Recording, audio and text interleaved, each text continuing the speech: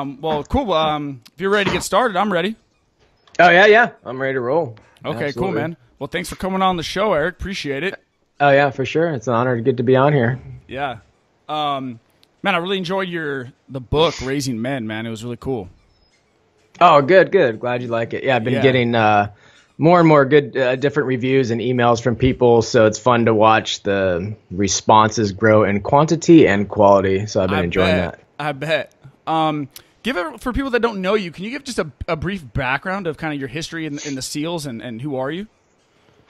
Uh, sure. Yeah. So, ah, boy, probably. I mean, really, the best when I go intro. It, I mean, it's got to go a little deeper than that. So, anyone who's read the book or knows anything I write or read about, I'll almost always talk about about 15 years old when my dad got sick. That's when I started looking for that. You know, too young to be without a dad, just old enough to recognize that I needed one. This leads to my SEAL background, and it's just I feel like it's all one story Definitely, yeah. um, dove in. I'm giving you the very abbreviated version, but you know, dove in personal development, self help books, tapes, anywhere I could find. I was looking to fill that gap. Realized that most of it was bullshit. None of it really worked or did anything. Plus, I was young, so I did the natural thing. I went in the Navy and joined the SEAL teams because I thought, man, okay. Whatever those guys got going on, that's something I can start building my life from. So that drove me into the Navy. But I had a little color vision issues, so it took me a good five years before I got to SEAL training. So I was a, a, a medic, what they call a corpsman Okay. in the Navy. I actually turned 18 in boot camp, so I went in pretty young. Um, became a Marine Reconnaissance Corpsman, which was the Marines' version of Special Operations then, uh, and then finally passed that color vision test through practice and prayer, and uh, went to SEAL training. Quit SEAL training because I'd already I was a young parent, had two kids already, and I thought, ah man, somebody talked me out of it. They're like, hey, you got to go make the money, be safe, live a normal life. And I was like, geez, you're right. So I, I'd already been in the Navy I five don't remember years. this being in the book. Sorry to interrupt. I don't remember being that, that part being in the book. I, you know, it's so weird. It's uh, I have a hard time sometimes remembering where I wrote something, but I don't know. I don't know if that is in the book. I know I've shot some videos and I've talked about it a little bit, especially with dads and parents, because so many guys give up their dreams because of their kids. Yes, yes. Um, and they think they need to. They think there's some sort of compromise that they have to make, or some sort of sacrifice, which we'll we'll get into later when we talk about the ebook I just released. But um, I did it and it wasn't, I mean, almost instantaneous. I got out of the Navy and I was, regret just hit me immediately. And, and, and what really hit me is like, God bless, the first thing I'm doing as a father, as a parent, is I'm demonstrating to my kids how giving up on your dreams uh, is the way to go. And I, I was, you know, young. I mean, I turned, you know, 18, 19, 21, like 22. I mean, very young. And wow. I had the wisdom at the time to be like, no, I can't start life this way. So I actually went back in the Navy, prayer and practice, passed the color vision test again. Um, so I was never supposed to go to SEAL training. So twice I went. And uh, then I graduated, uh, deployed almost immediately. Came back. September 11th happened. I was on Oh, post deployment leave, getting ready to get out of the Navy to pursue my dream of going into law enforcement, like my father. Um, and they said, "Hey, if you reenlist, we'll send you to Afghanistan." Long story short, I, I fell for that trick, and I ended up being a sniper instructor when I came back, which I spent five of my ten years um, which is a significant part of the story because usually you spend a couple three years as an instructor but i dove so deep into human performance and coaching and training that the navy thought it better to keep me and a guy named brandon webb who was my best friend and, and uh, another instructor there thought it best to keep us there. Um, and that's where i got so steep in human performance and training of which in 2008 i brought out to the the quote unquote real world and have been doing that ever since Wow. Um, yeah, I think you touched well, you touched on a lot of stuff there, but giving up your dreams for that, how someone was able to convince you, because you were pretty impressionable. You said you were what 21 at that point, right? Yeah, I, I mean, I was five years into it, 18, uh, yeah, like 22, I think, Yeah. by the time I got out. Yeah, and it's just it's amazing how easy it is for like other people and what other people think that you should do to become wow, you know, maybe that that is what I should do or that is how I feel. But you know deep down that you you really don't, but somehow everyone's influence conspires against you and then makes you believe that it was your idea. Like, yeah, I should get a safe job. They're right. They're right. Yeah, it's, uh, you know, it's herd mentality, right? And yeah, yeah. it is very difficult to go against the herd. and I mean that like it really, really is. There are all these woolly, fuzzy sheep walking the opposite direction, and it's like they push on you, and their wool is so comfortable and warm, and you just all of a sudden get caught up and float with them, you know, and, and to dig your to dig your feet into the dirt and be like, no, you know, you hit all the friction. You yeah. know, all the wool keeps going by you, then it's hot and uncomfortable, and you're like, all right, you know, screw this. And it takes a few of those, I've found a few of those iterations before you're like, wait a minute, I'm not even supposed to be in here with the sheep. I'm the shepherd or the farmer. Like I'm that's why this keeps happening to me. So that was the first part of my life, you know, and it took me, you know, years after to figure that out. I got to get away from the sheep. I I love them. Uh, they're all over the place, right? That's humans. It's people. Most of them are kind of a sheepish mentality, but I, I love them. Um, but it's not my job to be with them. It's my job to care for them. It's different space. Wow, unbelievable. I, have never heard that metaphor before, but that's I really like that a lot. What do you use? Um, I mean, now you've probably been so far on your own path, it doesn't matter. But at the beginning, kind of like, what would you suggest for people to, um, like every day, combat against that herd mentality? Because you know, like you're right, it's, it's all around us, right? Yeah, absolutely. And and you know that when you said that you've been so far down your own path by now it doesn't matter and I actually would say it absolutely does matter. Oh, okay. Uh, and it's crazy. It's because there's a it's this is a scientific term. It's called third order co-ontogenic structural coupling, which means when your mama said, if your friends jump off a cliff, would you do it also? The answer is absolutely yes, mom. If my friends kept jumping off the cliff, eventually I would too. And what I'm saying is we couple with our environment. So even if you pull yourself out of the the the the, the space, the matrix, you're still and don't watch TV or new you know I'm saying? You totally seclude yourself but you're talking to other human beings who they're spending their day watching TV listening to Facebook news and all that mm. crap out there. Their opinions are influenced. So you swim in this environment like that. So the same answer that applies to me every single day applies to anybody who is still in that kind of herd mentality is to be around a powerful group and intentionally train and do life with them. Just like if you were a martial artist and you wanted to become a black, I do jujitsu, right? If you want to be a black belt in jujitsu, you can't just listen to audiobooks and, and have a, a 50 book list of books to read during the year. Those are good things, those are useful, they're part of the puzzle, but you got to have a team and someone to lead you and train all the time, every day. Otherwise, we just fall back on into the herd and we get sucked back in. There's no way out of it. It's how we go.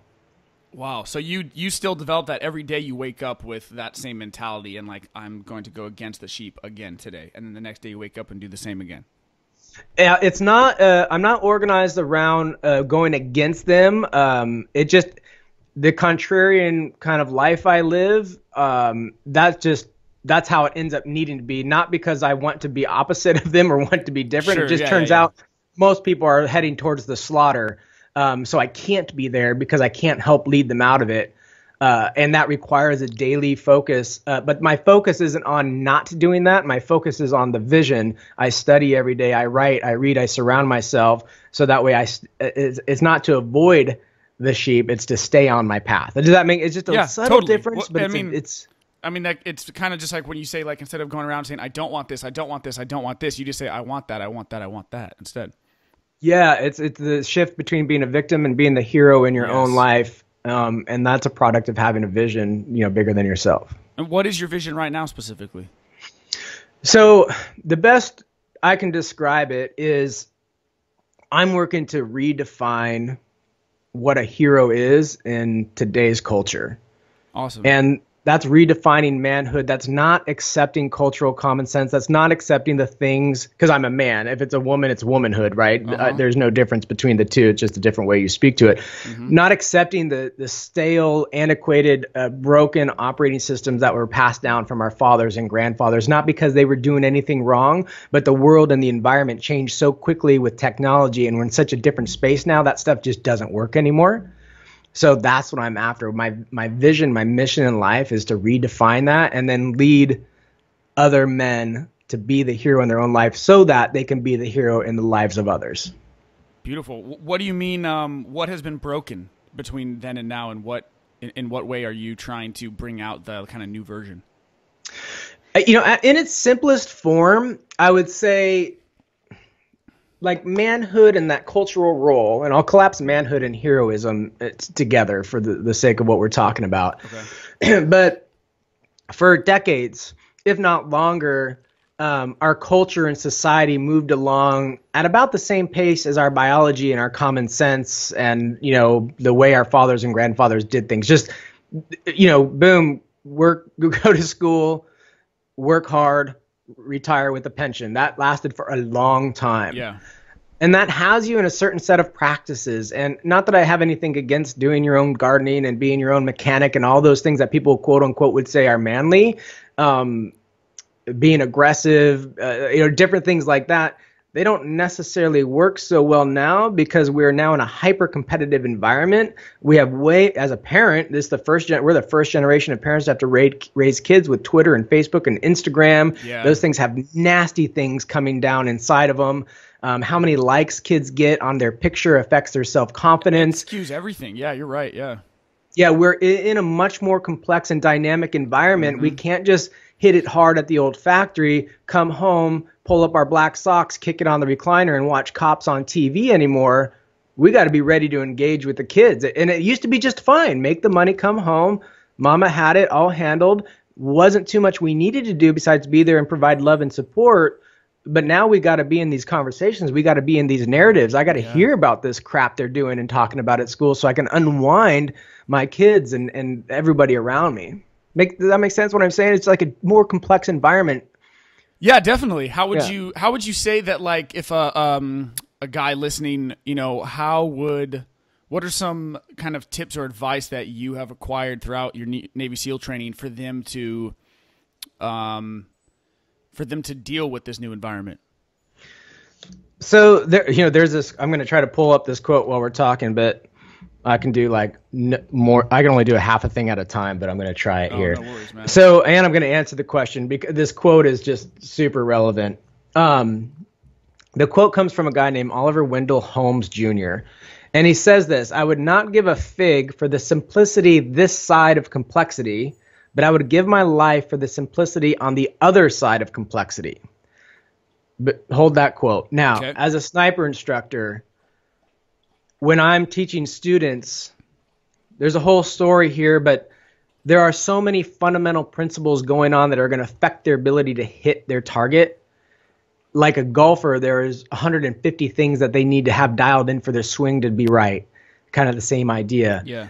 um, they can't hold that much at once.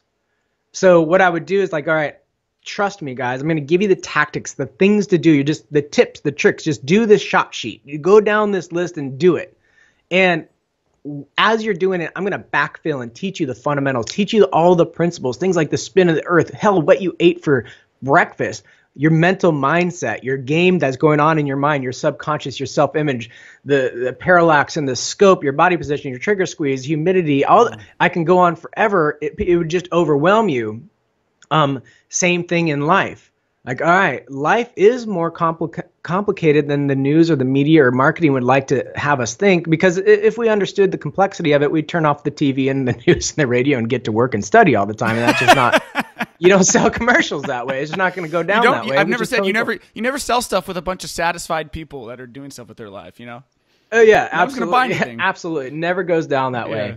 So what I'm what I would say to people is embrace the complexity. Understand that life is complex. There's a lot to it. I mean, this is our whole lives here, but understand that there is simplicity on the other side. Like a again, a martial artist once he's a black belt, he's not thinking about all the little minutia, all the movements, all the little things. Just like a professional golfer, they're not thinking about all those things. So things have gotten very simple for them, but they're on. But they've already passed through it. They've already learned the thousand things they needed to and mastered them. So now they're thinking about the three or four, or five fundamental things, and that's what I would suggest for everybody. Okay. And to just walk around embracing the fact that it's complicated and kind of difficult for everybody and you just got to embrace it. Yeah, and go through it. And and it mm-hmm. does because it becomes simple on the other side, but recognize also that there are people out there in organizations and I'm not trying to go conspiracy theory, but it is in their best interest that you're walking around as a simpleton. They you know, they actually have people thinking saving 5% of their income is a good thing, like a goal. And I'm a pretty positive guy, but if the glass is 95% empty, I'm not thinking it's half full. I'm thinking, shit, where'd all my water go? I'm missing. That's how they have us thinking. Yeah, you know what's interesting too is how you said I'm not trying to sound conspiracy theory sounding, as in like even just the fact of mentioning that there might be some type of mind control going on through obviously the media and the corporations and what they want us to think is like, uh oh, you know, you might sound crazy, but it's so obvious. You know? It, it, you, you know, if you go again, let's bring if you bring, go through the complexity of all and bring it down to the fundamentals. Uh, you know, if you watch news or read news, wherever you're consuming it, it, it, if it's you know free news stuff coming at you, you got to understand what their job is. The news's job is not to give you information and knowledge; it's to provide sales for the commercials that are coming up next. And it, my thing is it's okay. Some people get all pissed when they realize that. I'm like, no, that's capitalism, man. That's marketing. That's just how it works. And it's okay as long as you're in the know. It really sucks that's exactly, if you're not. Yes, that's yeah. exactly right. I was just thinking about this the other night, man, because I heard um, uh, Joe Rogan talking kind of about the same subject on his podcast.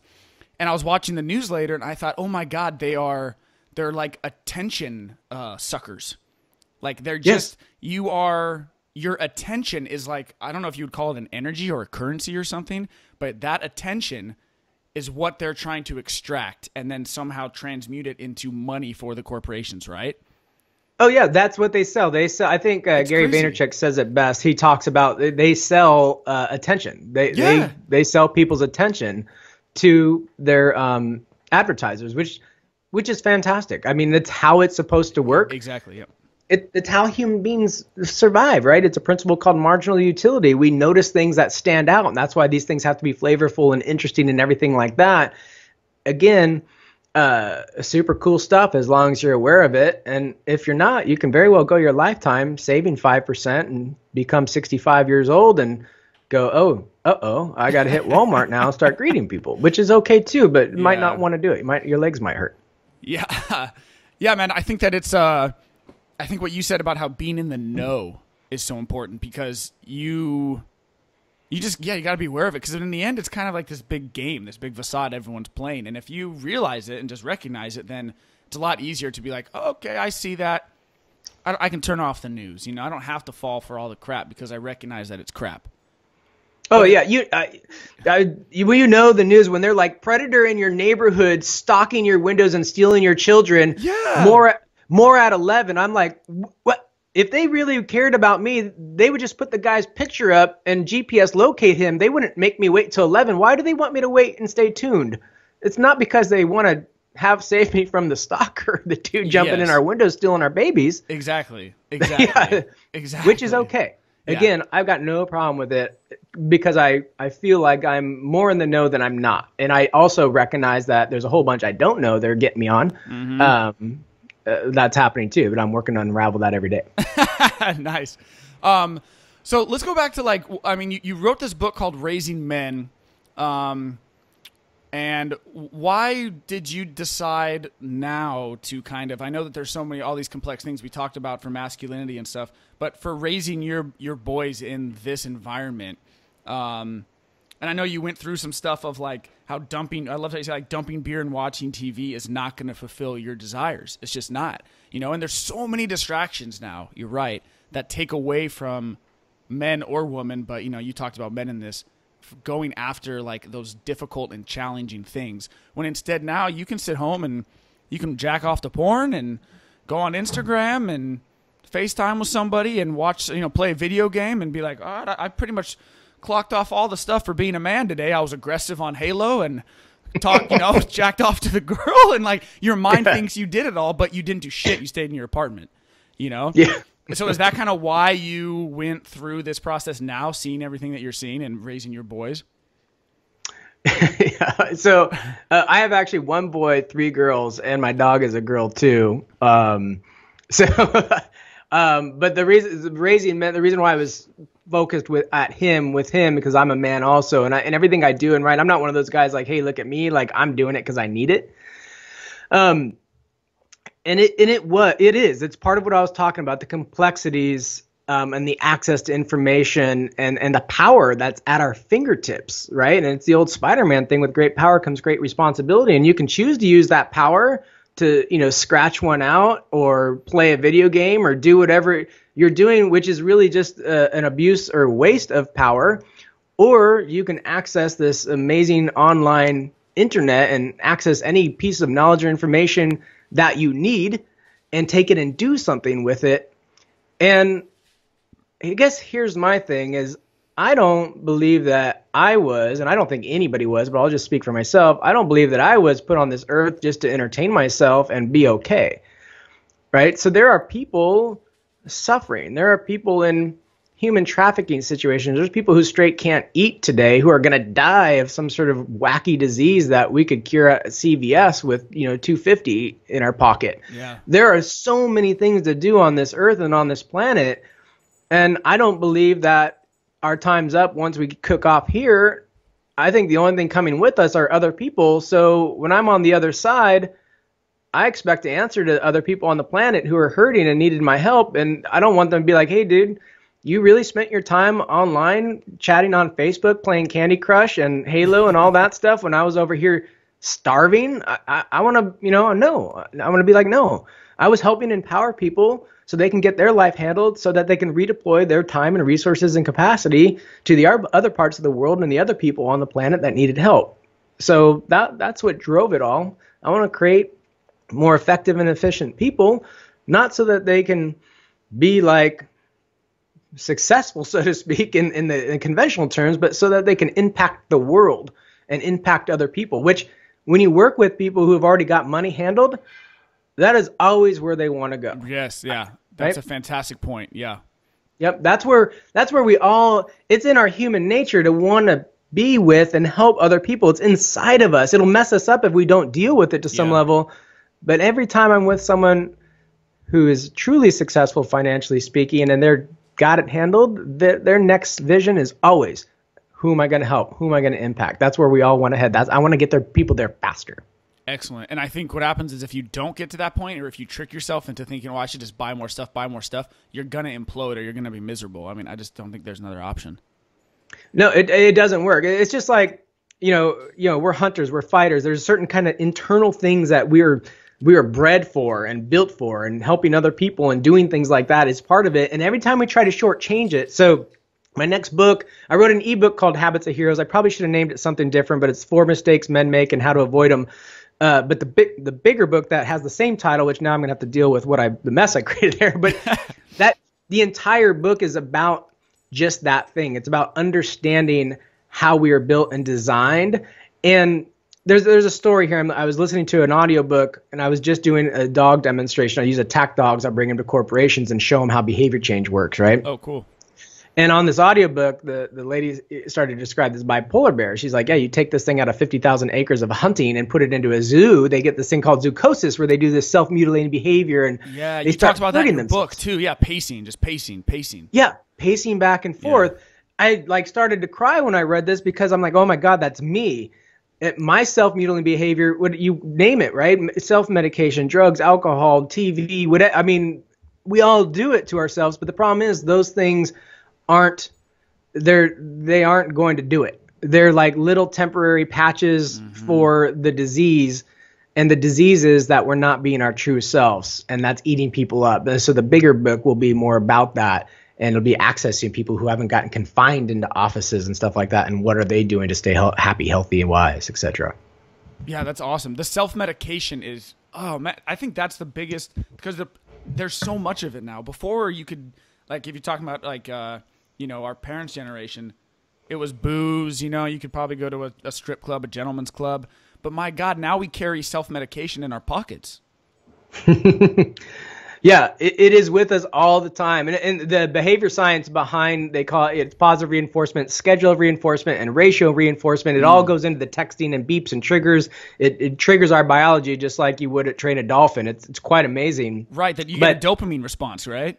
Yes, it's triggering. You got it. Dopamine release. These little devices in our pocket will fire you. They'll get you all the time. And and when we think of self medication, it's not just booze, beer, and stuff like that. You were talking about it with the Gentlemen's Club and different things like that. It could be incessive watching of YouTube video. I know so many people like, oh yeah, I, I don't sleep well as I'm watching YouTube videos. I've I've gone down the rabbit hole a couple times late at night. Oh, yeah. Oh yeah, these overlander videos. I have a four-wheel drive truck, and I keep it always ready to go. And I obsess. I'm like, am I going to get a camper? Am I going to get a sportsmobile van? Am I going to get overland my truck? And I'm self-medicating. What's weird is I went snowboarding with my son, and then shortly after, I did some snowboarding and some little tiny uh, uh, blade skiing with my daughters. And it'd been a while uh, since I'd been out in the snow, and I just remember afterwards, I was like, oh my gosh, okay, where am I going next week? Where am I going this weekend? I had come off the self medication of maybe watching these videos or something like that, and into the I got the real thing. I'm like, oh, there's the real medicine, um, which is why, uh, like the the group of men I'm working with this year, I'm having, I'll do like three excursions, kind of sea, air, land, the SEAL thing, Badass. and a lot of people are like, oh, that's fun, rah rah. You know, uh, co- it's like a team building event. I'm like, no, no, no, that's not what this is. That's this is restoking a certain fire to get you hooked on the real stuff, uh, rather than the substitute bull crap that we get on. Yes, I love that, and that's what God, we're in such a weird place now with the the substitute stuff because the like the internet, you're right, gives you substitute everything, substitute sex, substitute excitement, substitute knowledge, substitute action, and and it, you can get wrapped up in thinking that you are actually doing it, but you're like I said, you're not doing actually anything. It Yeah. tricks you all the time. It's such a weird place we're at right now. Yeah, it's not the. It's just not the real thing. Um, it's it's not gonna work. It's gonna leave you. It's gonna leave you short. Uh, Yeah. You're not. It has you thinking you're taking your chemo, your your medicine, but you're not. That's the that's the what makes it dangerous. That's where the that's where I do get a little fired up. Uh, because when people access that, they're they're subsiding some symptoms and they think they're doing what they need to. But that's why happiness is down and depression is up because it's not going to work. Everybody, it's just not going to fly. It's, Right. Yeah. Is that kind of like uh, I know you talked about action versus movement sure. in your book. Um, is that kind of yeah. what it is? Like movement, you think you're doing it, but you're really not. Action's actually going out there and doing something. It is, uh, it, it- yeah, it actually it is. It's a different context. So when I talk action versus movement, I'm talking about, okay, I have a vision and I now have a set of strategies and then a set of tactics. And what I'm doing is that action to reach that vision as opposed to just running around being busy. Uh, but it would be the same thing if we think we're doing something to care for this internal need we have, but it's bankrupt, then we are just moving and we're not getting anywhere. We're not, again, we're not curing the disease. We're just temporarily treating the symptoms. And man, there's some nasty stuff out there. Yeah. You know, even not, medication and not, and sometimes people need medicine, but, but the side effects and it just does not, it's not for most people. What most people need to do is get their ass together in a brotherhood, get out and about several times a year, and live the life for which they were bred for. They're they're stamp it was stamped into them. Use it. What's the organization that you just that you mentioned that you run that take guys out? What's that called? Uh, well, there's no. I mean, I call it a strategic training group. Oh, Um, that was okay. Yeah, there's no like organization name for organizational name for it. It was a pivot I made. I did this uh, at the end of last year. I was doing kind of a marketing project where I was reach, calling people, my readers, and saying, "Hey, what had you find me? What were you looking for?" So I was actually talking to people because as a writer, you can connect with hundreds of thousands of people, but it gets really hard to connect with like a hundred because Yeah. wr- writing's hard work and you hole up in it sometimes. So I'd gotten myself secluded. Uh, but as I was talking with them, I'm like, oh my gosh, this is why my writing so far, why I've been able to be successful, is not because I'm any kind of poetic writer, but because I'm sharing stories about this kind of thing, conversations with people where I'm actually having them perform way beyond their perceived limits and knocking them out of their rut and their routine. And it just hit me. I'm like, I'm not, I not doing this anymore. I next year, 2000, this was last year, 2017. I'm gonna dump my corporate clients, which is like less personal and a different kind of. It's just a different space. Uh huh. And I'm gonna bring, take on work with seven men, and I'm gonna hand select each guy. Okay. Like- okay. Yeah, and that's what this is. So I call it strategic training group. I just launched it publicly maybe a week and a half ago or so. Awesome. So that's what I'm actively doing. I spend most of my day right now interviewing and studying men who apply. So I can I want to make sure anyone in this group is surrounded by six other dudes that they're like, wow, these are some amazing guys Be- because that whole thing, that environment. Yeah. I want to separate them from the herd and ha- and produce leaders. So that's the core of what I'm up to. I, everything we just, we've been talking about, I'm producing an environment to make that exist for people, to include myself. Awesome. And are, are you going to be making videos or be putting this up as another book or where can like are people going to be able to see this almost as a case study and, and see what to learn from it or yeah, so the the place to go is my website ericdavis215.com which I'm sure we'll hit later. Um, but the ebook, it's called Habits of Heroes. It's oh, right on my it's going to be included. Okay. St- I would have anyone start to follow no matter what they want to do, start there. I, there's still four spots open, so some people might be like, "I'm in this. I want to get in this thing," and you'll the book will lead them to it. But if they don't become part of it, uh, the commitment of the group is the hero in our own lives, so that we can be the hero in the lives of others. So I'll leave a trail on the website of all the lessons learned, um, all the things we're doing, and then this book, Habits of Heroes probably in a month or two, I'll start the actual drafting and writing of it. And I'll be using our experiences, not like specific stories or all like where, you know, I'm using people's names and stuff, but I'm going to be summarizing the experiences of the group and processing them in a way into and putting it inside of my own story with the heroes that I've met throughout my life and deliver it as a final product so that people can begin their journey. And of course, the journey only can begin with a book. It can never finish because now they got to get out and get some and get a yeah. you know they got to go on their journey yeah. as well. I think that is badass, man. I think that it comes at a perfect time too because it takes someone, you know, someone badass like you saying, "Hey, this is kind of some of the things that you should do," or or just kind of uh, setting the guidelines but in a way that like you said that isn't this like macho aggro bro you know like oh, just fucking beat people up man like Fuck those guys. yeah. You know what I mean? Because you, you do see those two sides. It's it's in my mind, it's either new age, lovey dovey, um, like hey, let's love the you know love the world, you know, just kind of that classic example in my head. And then it's like the the douchey bro guy beating everybody up is like these two opposites of the spectrum. So I think it's super important and cool when you get a uh, a certified badass like a Navy SEAL to be like hey, this is kind of what has worked for me, and I'm doing it in this manner, in this very like respectful and loving manner, but like tough love. I think that that's extremely important right now. I, I appreciate that, and it's not. You know, I've had people watch me like train kids swimming or whatever, and they tell me like, "My God, I'm I'm surprised how kind and patient you are." And and I and I and I like, "What what do you mean? Why why does that surprise you?" they're like, "Oh, because you're a SEAL, etc." And I'm yeah. like, "Oh, I get it." I go, "Yeah, we don't. There's no one of the beauties about being a SEAL is you do end up with a pretty good level of confidence. And I explained to him like, you know, there's I got nothing, I got no need to, you know, be that macho type guy. That's it. If I'm training somebody, typically that's not what they need. you know, there are four quadrants of behavior, and what they need is someone to dance in all four of those, giving the person what they need to take the next step to get to the next truth. So it's about being effective, not fitting in this kind of image. And power is different so I had a stalker, and I know kidding have 360 degree surveillance. Clearly, can defend my household and myself with weapons, and I mean, I mean, I feel very comfortable with that. Yeah. No, behind me there was an attack Belgian Malinois, literally sitting right next to me, who's fully trained to tear someone up if need be. But I couldn't do anything, and everyone's like, "God, what are you doing, man? You're a SEAL. Why don't you kick his ass?" I'm like, "Well, uh, let me explain why I don't."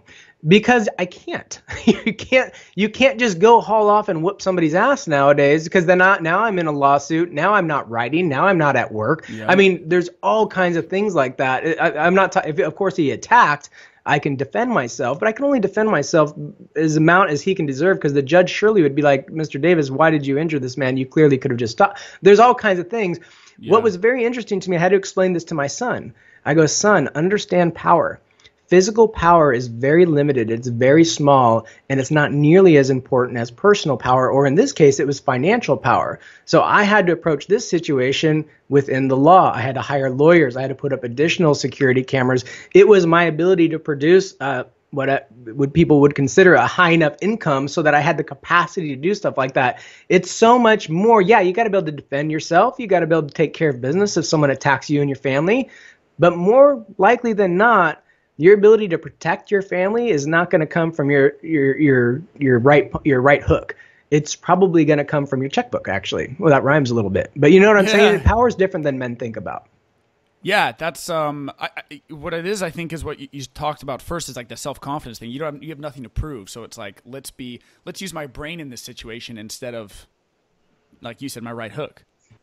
Yeah, it, it is. It comes from confidence because everyone's saying that to me. I'm like, oh, you know what? I, it's not that I'm afraid to fight because I feel comfortable fighting. And, and, I, you know, and I'm like, me of all people, I grew up with red hair and freckles. I'm like, you've got to be kidding. The first time a bully, because a stalker's a bully, right? Which is the same thing as a terrorist for all those bully kids at school. And I'm like, the first time I can dispatch somebody, I could whoop someone's ass. I'm like, now I can't do it. I'm like, you got to be kidding me. The red hair, freckle faced kid that grew up in middle school. I'm like, this is a bummer, but I don't care anymore. Yeah, that's the key. That's the key. You don't have a chip on your shoulder because I think, and and the herd mentality is to, hey, go kick his ass, bro. It's a stalker, like you know, and uh, yeah.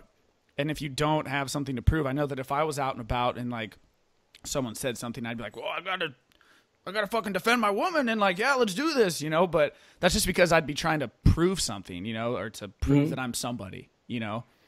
Yeah, it usually doesn't support the mission, but it's the same thing in the world. I mean, it's insane that we're still killing other each other on human beings on this planet. Like violence never supports the mission, but it's tough to do when there's idiots. Some some people are so stupid that you're left with no choice but to pop yeah, them. But yeah, yeah.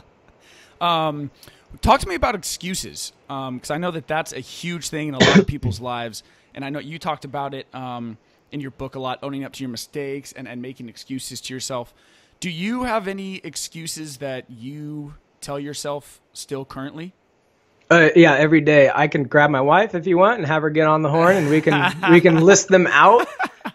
Uh, you know, which I think is important to be like, uh, as much as I work uh, I, I, think excuses are is kind of like sin for the for the the, the spiritual people out there. They're one of those things that once you start getting rid of them, you'll just keep finding more. Uh, the nice thing is, is pretty. You know, one day you're making excuses for being a total douche, and then you know you evolve into that situation. Then you realize, okay, now the excuses I'm making are something smaller and not as impactful for life. But Mm. Uh, yeah, I do. And, you know, I always differentiate excuses, excuses and reasons. So an excuse is something that I, if somebody's like, I'm not, like when I work with these dudes and they're trying to get somewhere, I'm always looking for the action. Like, all right, what's the thing, what's the thing, the next step, the thing you need to be in action, the thing to do, and what's in your way. And I can tell their excuses. If, if, if they're putting excuses in their way, I can remove the excuse and they still won't move. Make sense? They're mm-hmm. they're still will stay put because now it's there's something else holding them back. Now a reason, hmm. like okay, yeah, I need to I need to double my income so I can bring my wife home from work so that we can have a passionate relationship. So I'm not getting my ass kicked left and right by having family and work. And the reason I don't do that is because I I don't make enough money. I'm like, okay, so if we can produce a situation, put other people around you, get some situational awareness, some unconventional knowledge, have a different way to think about money, where you can start increasing your value would that work? And they're like yes. And i'm saying okay here's the next steps. And they do it. That's how i know that there was a real reason. Big okay, difference. so like a legitimate excuse versus a, just a made up phantom. Yeah well i would say not even use the word legitimate excuse. An excuse if you remove it the person still doesn't move. Now a reason if you remove it they get moving. Okay. Yeah. Awesome what are some that because I think it's really cool to hear someone like you say that you still have excuses. What are some like of you know this week that excuses that you're using for different things in your life? Oh well, ooh, that's a tough one because when I use them, I bury them down deep inside and pretend like they don't exist. Right? Is that bad? I only I only hear them if I smoke weed. Then I'm like, oh, you bastard! That's what yeah. it was. it is deep in there. exactly. So I think an excuse I use a lot is I will I will count on well, see, I'm already making the excuse right now. I'll count on others to, to do things and set things up in a way for me so that I can do what I do. Um, and that's really an excuse so that I don't have to do the things I don't want to do. But, you know what I mean? Like okay. uh, you know, clearing the SD card from you know the cameras and lights or the audio that when I'm doing shows or anything like that, and making sure it's charged or something like that. My excuse will be like, all right, I hired someone to do that, or someone else should be doing that because I I need to be focused on the writing or the content. Um, when really, I just don't want to do it I want to go surf or do something fun after Yeah. I after I work. That's Yeah. probably that's probably my number one excuse I roll with. I like to I like to make people feel pretty bad about not supporting me. That's how I do it. okay. Uh, my wife loves it. This is great. Yeah, yeah, yeah, yeah. I know it's We'll be crazy in how marriage counseling soon. Yeah, yeah, right. Um, it is crazy how easy it is to um, excuses are so insidious. I guess is the right word, and they're very, very sneaky, right? Like they, they, they almost like masquerade as something else. Like you said, they do all these things to trick you and think that you're, you're, you know, you're doing it for a different reason. Oh, you know, well, hey, you probably shouldn't do that because of this, and and in the end, when it comes down to it, you're like, I'm just, I'm just lying to myself. But it's like this little devil inside that just kind of like a little elf or something that just hops around, making different, making different reasons and lies as to why you're not doing something or doing something. It's incredible. Yeah, we don't, you know, as human beings, we we don't if something's off in our world, we don't exist in that. We need to do something to center ourselves to to calm ourselves down to bring ourselves back to a homeostatic mind frame. And often what we do is we make up stories, right? And that's these excuses and they, and they're they're more than even sneaky. I mean, they really become blind spots. Uh, you know, and geez, you know, somebody can have an excuse and not even and be innocent of it. If I go back to the sniper example, like, why'd you miss the target? And, and they're like, I don't know. you know, but I'm like, all right, there's 17 reasons you missed the target. You could be innocent to these excuses, but if I can remove them all and you're still going to miss the target, uh, it's just part of our lying to ourselves. Uh, it's a natural condition. That's why we have to have other people around us. And I don't mean just other people. I mean other people after life, other people who can hold us accountable in a loving and empowering way, uh, right? Uh, that's that's why it's critical. Otherwise, we just get stuck Yeah. and go nowhere because our excuses are in the way. yeah, exactly.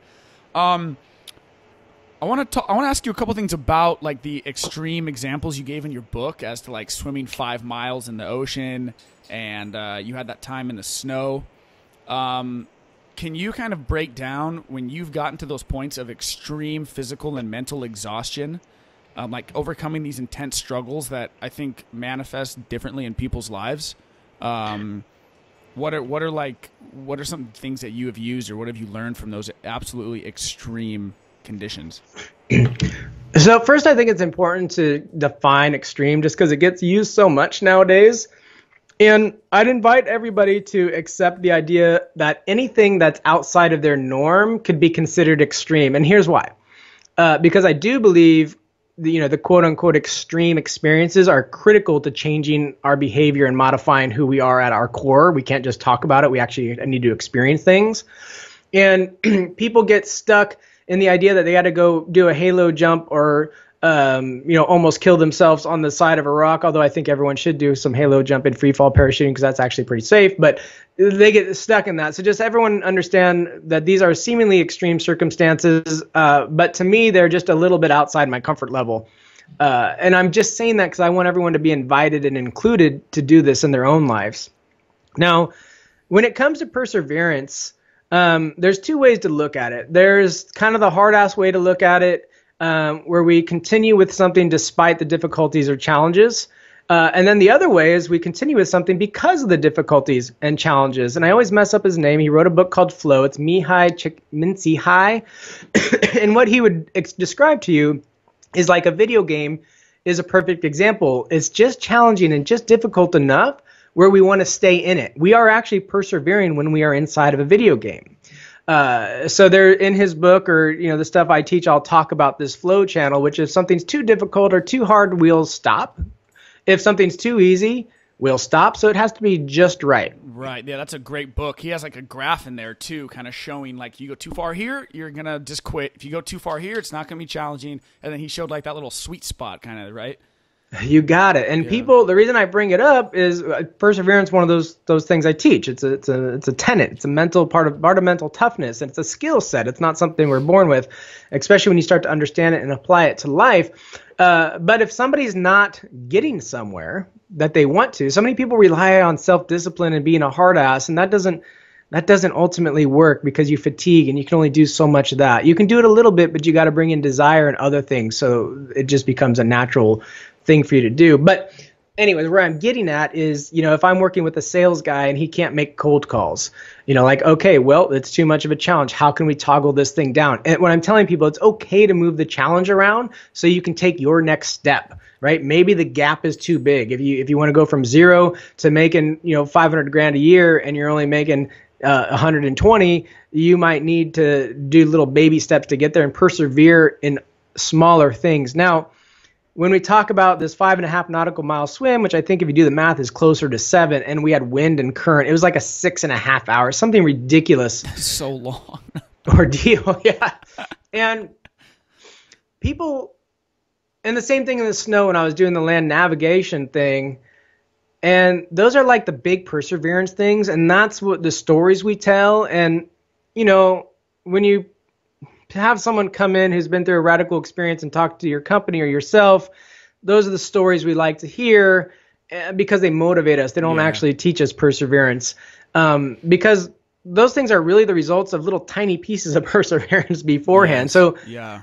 The true perseverance is that. So the, that swim was you know, if you do, if you ever ran a marathon before you start training, if you only been running a couple three miles and you go to run your eight miler or something like that, the idea of running 15 miles three weeks later is like there's no way.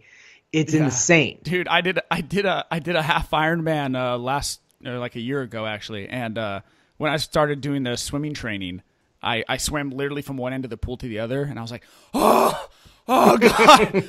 I signed me and my buddy up for what? Like I'm swimming how far in you know three yeah. months or something? I was dead after I swear to you swimming just across the pool. I was like, there's no way this is gonna happen. But three months later, it was no problem because yeah, you just slowly build up. And uh, sorry, I don't mean to cut you off, but I, I thought of this. Um, there's an infographic I saw online that kind of demonstrates what you're talking about perfectly of a giant iceberg, and I think they were just calling it the iceberg effect and it showed, you know, it was supposed to be like a successful person, or in this case, swimming five miles across the ocean, was like the very, very tip of the iceberg, which is all you see. And then they showed underneath the water all the stuff you don't see behind a successful person, behind a five mile swim was like failure, doubt, you know, perseverance, you know, uh, hard work, and, and all these things. And then at the very top, it was like what the public sees. And it was this very tiny sliver, tip of the iceberg, that was like, you know, swam five miles success. You know? Yes. It was great.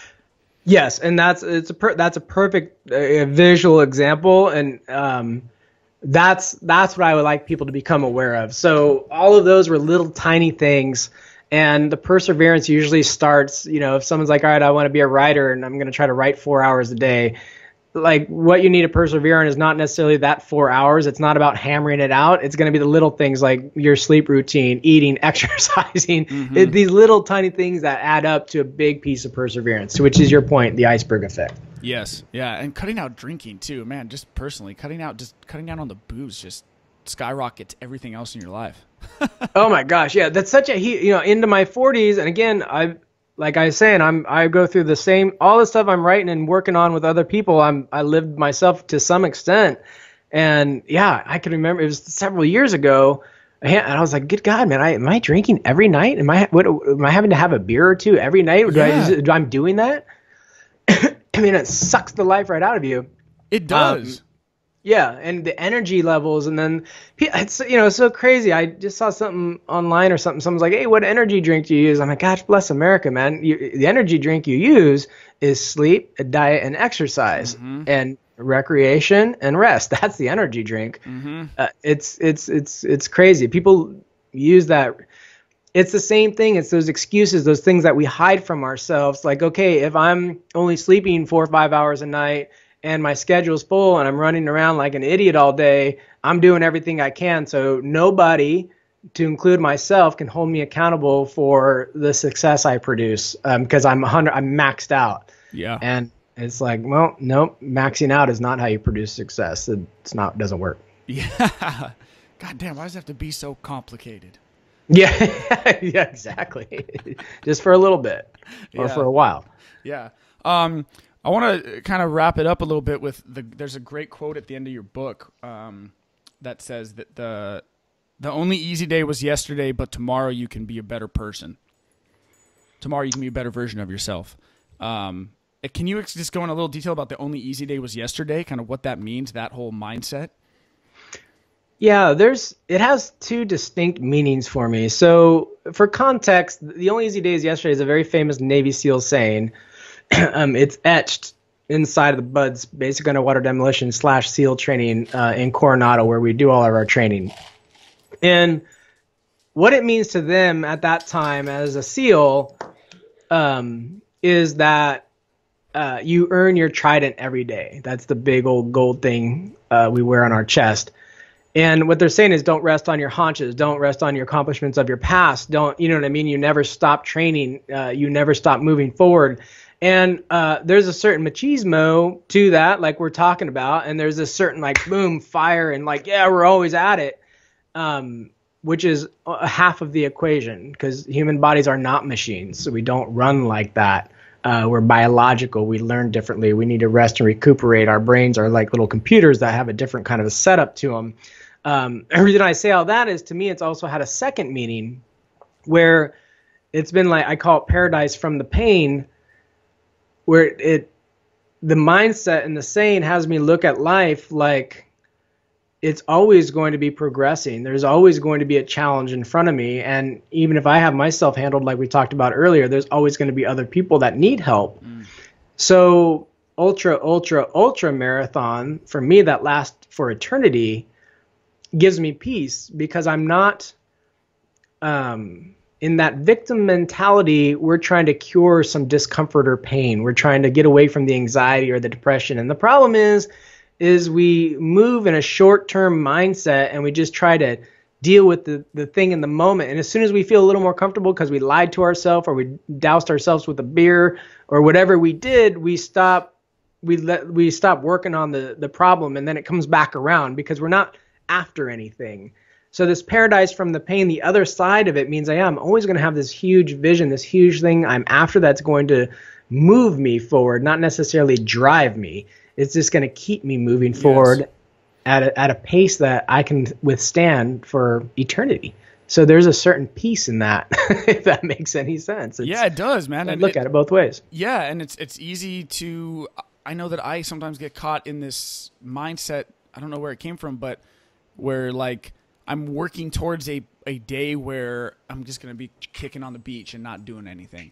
And I'm like, yeah. when have I, I? I, don't even I, I don't even want that, but I don't know why that's somehow in my subconscious of like, hey, you're gonna finish this workout, and then guess what? You don't have to work out for two weeks, you know, or like, oh, you're gonna you're gonna do all this work, you're gonna build this, and then uh, you know, finally, you won't have to do anything for two weeks. And then as soon as I get somewhere and I don't do anything for an hour, I'm like, well, I'm fucking bored. I want to go I want to go contribute or do something, you know. But it's so weird this like mentality that comes from somewhere.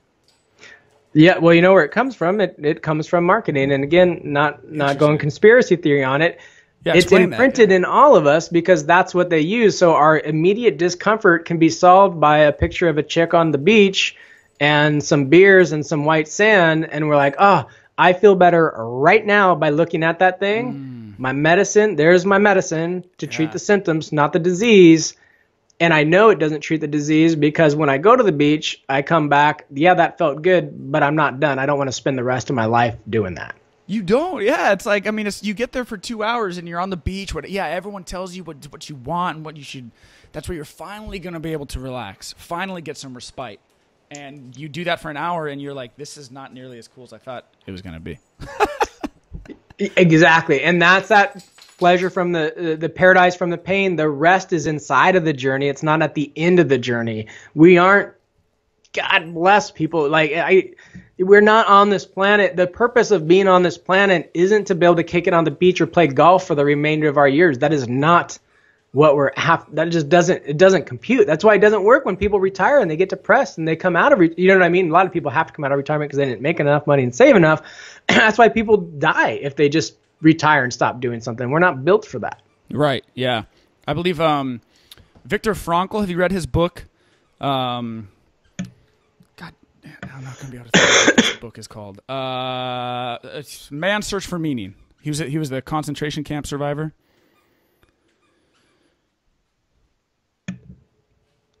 No, I don't. I've never read that. I think I've heard the story though. Okay. Anyway, his his main thing in the book, kind of, if I had to sum up the entire book, is the process is the goal. And yeah. Ah, switch, oh, I love it. switch that mindset. The process is the goal, and you go, oh, Oh, so I'm already here. I already made it. That you know what I love. Gosh, I got it. What was the name of what was the name of the book? the The book is called Man's Search for Meaning. That's so fantastic because that's um, I you know I think one of the things I spent a lot of time the reason why I felt ready to launch that group is it took you you know you get yourself in a situation in life where you're like crap I'm I'm too busy. I'm not working out enough. I'm not living my life. I'm not living a good life now. I'm I've I've taken on sacrifice that I intended on it being temporary and it moved in permanently because things like family time and fun and recreation and taking care of ourselves those are what produce the power. They're not you know what i mean? We need, once we get rid of those things we're going to get weak and that that will crush in on us. But i love the whole process is the goal uh, and i'm, I'm going to take my meaning from that is my goal years ago i figured i i hit that kind of same idea. I'm like man i'm not working to retire. That ain't going to fly. But i am working to produce a situation where my process of what i'm doing in life is a good life Yes. so as soon as I heard you say that, uh, that was huge. And I mean, why I, it was so huge because as I'm working with these guys and bringing on this group and explaining to them what we're doing, that's what I, I mean, at the core, what I'm doing is like, all right, you're in a current process to produce a to produce a future situation.